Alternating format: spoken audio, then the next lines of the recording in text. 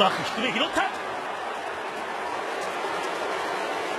木浪はここは三塁に達してタイガースも2桁10本目のヒット低めのボールうまく捉えました。いや今のはうまいですね、はい、このバッティングができるとある程度数字は残るんじゃないですかね。ボール球ですけど。も、ね、低めのフォーク。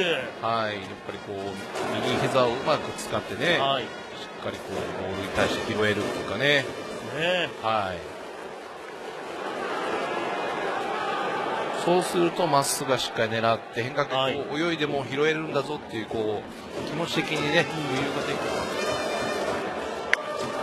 レフトへ打球が伸びていって頭で越えて入ったか。ライナーで持っていった森下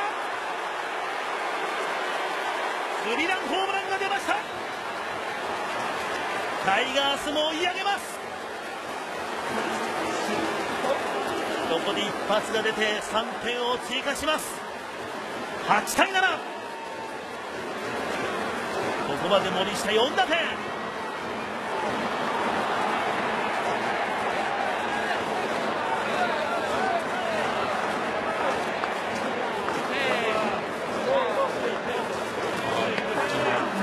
系のボールなんですね。そうですね。えー、ですけどやっぱり反則球はね、やっぱ低めにちょうどこうスライダー系なんで、余計にこうバット下から振るバッター。